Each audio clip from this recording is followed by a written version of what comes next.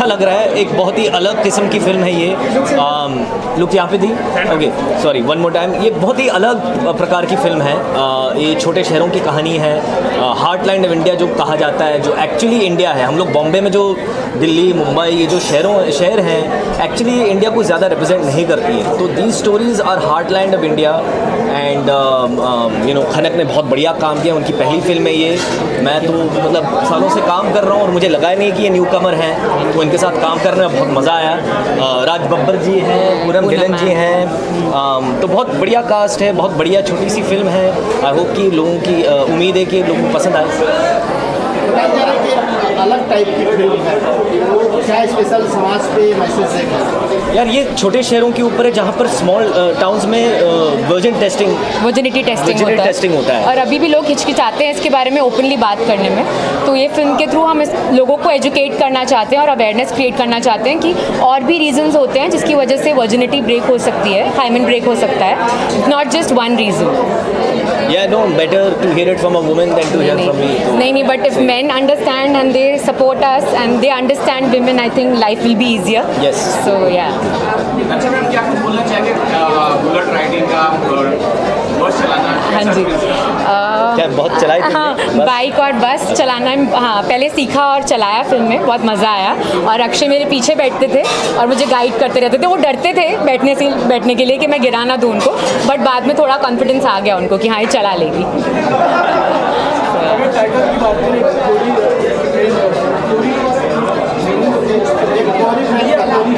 कोरी है कोरी कोरी लाइक कोरी एक प्रेम कथा एक्चुअली कोरी हमने वर्ड यूज़ किया है कुकड़ी प्रथा के लिए जो एक प्रथा कुप्रथा है जो अभी भी इंडिया में बहुत स्टेट्स में हो रही है. तो वो कुकड़ी वर्ड ना यूज़ करके हमने कोरी बोला जैसे हम बोलते हैं कि लड़की बहुत सारी जगह में होते हैं कि लड़की कोरी है राजस्थान में बोला जाता है कि लड़की खरा माल है. तो ऐसे वर्ड्स यूज़ किए जाते हैं ऑब्जेक्टिफाई करने के लिए वुमेन को. तो, पवित्रा आप उस तरह से देखा जाए.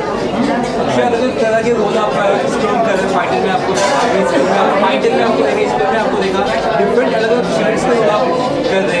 तो कॉन्फिडेंस यार आ, मेरी मेरी कोशिश हमेशा से ये रही है आप चाहे पिज़्ज़ा उठा के देख लें गुड़गांव देख लें लाल रंग देख लो काला कांडी देख लो फाइटर देख लो मैं हमेशा कोशिश करता हूँ कि कुछ अलग करूँ। एज एन एक्टर मैं भी मेरे अंदर भी इजाफा आता है और मैं कभी आई थिंक मैं का, काफ़ी बार कह चुका हूँ कि मैं क्राफ्ट पे ज़्यादा ध्यान देता हूँ ये सब पी और नेटवर्किंग इसमें मेरे बस की बात नहीं है। देखो पूनम जी आ गए क्या? मैं भी इजाफा लाऊँ अपने क्राफ्ट अपनी एक्टिंग के अंदर और अगर अलग प्रकार की फ़िल्में करूँ तभी जाकर के उसका असर पड़ता है। और ये एक रोमांटिक फ़िल्म है। मैं काफ़ी सालों बाद कर रहा हूँ। एंड जैसे आपने कहा अभी फाइटर थी वो एक्शन फ़िल्म है। आ, तो कोशिश तो यही है यार कि मैं करता रहूँ अपने आप को पुश करता रहूँ ताकि मैं और बेहतर काम करता रहूँ।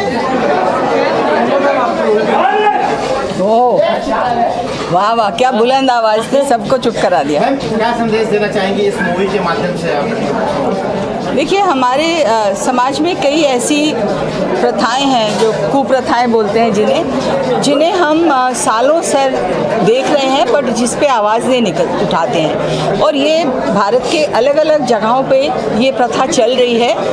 और जैसे मैंने एक बार पहले भी हम दोनों ने डिस्कस किया कि जब तक ये बहुत एक हादसा नहीं बन जाता, जब तक तो कोई खून खराबा नहीं हो जाता, कुछ लोग ऐसे एक्सट्रीम स्टेप्स नहीं लेते, तब तक वो न्यूज़पेपर में बात ही नहीं आती है। ये बातें फैमिली में रहती हैं, पूरी फैमिली को बर्बाद भी कर देती हैं, लड़की की लाइफ बर्बाद कर देती हैं, उसके माँ बाप की ज़िंदगी भी बर्बाद हो जाती है कई बार।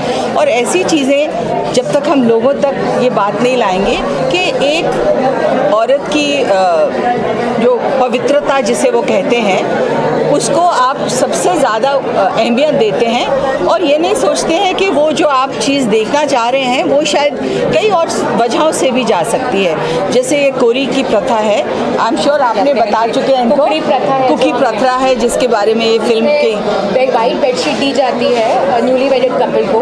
और नेक्स्ट डे अगर उस पर ब्लड का स्टेन ना हो तो जो ब्राइड है उसको बहुत सारी कठिनाइयों से गुजरना पड़ता है। वही प्रथा के बारे में हम यहाँ बात कर रहे हैं, जहाँ मेरा कैरेक्टर मना करता है कि मैं ये प्रथा नहीं मानूँगी और अक्षय, मेरा हस्बैंड को कैसे सपोर्ट कर रहा है पहले वो भी नहीं समझता है। बाद में जब उन्हें पता चलता है, वो मुझे सपोर्ट करते हैं और कैसे फ़िल्म आप देखिए तो आपको पता चलेगा तो कैसे हम लोगों को एजुकेट करते हैं। और जो मेरा कैरेक्टर है, वो एक अच्छा वेल मीनिंग कैरेक्टर है बट वो मानती है इस प्रथा को, क्योंकि उसने सालों से ये प्रथा देखी है, अपने परिवार में जनरेशन से देखी है तो उसके, उसको, उसमें कुछ गलत लगता नहीं है। तो जब एक नई बहू आती है घर में और वो कुछ एजुकेशन लाती है इस बात में कि यही एक वजह नहीं है कि लड़की ने कुछ गलत काम किया है या गलत नहीं भी कहो उसे या प्री मैरिटल सेक्स हुआ है इसकी एक ही वजह नहीं है। बहुत और वजहें भी हो सकती हैं। और आई थिंक आज के ज़माने में और ये जो एक बहुत बड़ी बात आई थिंक बात लेते हैं कि किसी मर्द से और लड़के से कभी नहीं पूछा जाता कि आप वर्जन है कि नहीं पर लड़कियों से अक्सर पूछा जाता है। और उसका उसका जज किया जाता है कि हाँ। अगर लड़की का अफेयर था शादी से पहले तो वो कैरेक्टर लेस है। और लड़के की अगर चार गर्लफ्रेंड हो तो वो स्टड है। हाँ। तो वो वो हमारे जो जेंडर इनक्वालिटी है सोसाइटी में वो और ये भी माना जाता है कि आदमी को हक है ये सब करने का। और एक ये छोटी सी बात मैं हमेशा सोचती हूँ कि हर चीज़ जो ख़राब होती है सोसाइटी में, हमारे समाज में, वो औरतों से ही क्यों होती है? चाहे वो डाउरी की प्रथा हो, चाहे वो सती की हो, चाहे वो हम लोग चाइल्ड इन्फेंटिसाइड बोलते हैं फीमेल इन्फेंटिसाइड मेल इन्फेंटिसाइड हमने कभी टर्म सुना ही नहीं है। तो ये सब चीज़ें लड़कियों के साथ, महिलाओं के साथ होती हैं। तो अब हमारा समाज काफ़ी एजुकेटेड हो गया है, मून तक हमारे साइंटिस्ट जा रहे हैं हमारे नासा और हमारी वेरियस और फिर भी हम ये चीज़ों में विश्वास कर रहे हैं। पवर जी के साथ मैं ये कहूँगी कि अब सेकेंड इनिंग में जब हम लोग साथ में काम कर रहे हैं तो और कंफर्ट लेवल है। पहले हम लोग मतलब बहुत फॉर्मल कोलीग्स थे। अब मैं कहूँगी कुछ हद तक हम लोग फ्रेंड्स हैं। आपस में बात भी कर सकते हैं डिस्कस कर सकते हैं। मे बी उस वक्त मैं भी बहुत छोटी उम्र की थी तो ज़्यादा बातचीत नहीं होती थी हमारी। सिर्फ़ सीन करते थे और फिर मैं इस साइड पे, वो उस साइड पे जाते थे। पर अब हम लोग आपस में बात कर सकते हैं। मेरा सौभाग्य है कि मैं भी इन दोनों के साथ दो बार कार, काम कर चुका हूँ। लाइक ये जोड़ी के साथ। लेजेंडरी जोड़ी के साथ मैं दो बार काम कर चुका हूँ so it's my it's my honour हाँ हमने रिसेंटली एक शो किया था। ओ का शो किया था जिसमें अक्षय भी थे और राजीव भी थे। तो वो उस टाइम पे हमारी थोड़ी आइस ब्रेक हुई थी। इस फ़िल्म में तो हम लोग बिल्कुल एक फैमिली जैसे हो गए थे। और आउटडोर में ये होता है अक्सर कि जब पूरा दिन रात किसी का शॉट चल रहा हो दूसरे बैठे हों चार चार पाँच पाँच घंटे एक दूसरे की वेट करें क्यूज़ देते हैं, एक दूसरे को डिस्कस करते हैं सीन तो एक और दोस्ती और अपनापन और हो जाता है। का विषय सबसे पहले तो महिला जो स्त्री होती है घर में, औरत होती है समाज में, उनको किस तरह से न्याय मिले, उनका आत्मसम्मान, उनकी प्राइवेसी उसके बारे में जिस तरह से बात की गई है फ़िल्म में, जैसे एक, कई आज भी हम लोग इतने आगे बढ़ गए हैं, लेकिन आज भी समाज में कई भी ऐसी प्रथा है जो प्रथाएँ बंद होनी चाहिए। तो इसमें हम लोग ने वर्जिनिटी टेस्ट के ऊपर एक लव स्टोरी के थ्रू वो बात को कहने की कोशिश की है। हाँ, मतलब सिनेमा में बहुत अच्छे अच्छे सारे एक्टर्स बहुत अच्छे मिले हैं मुझे।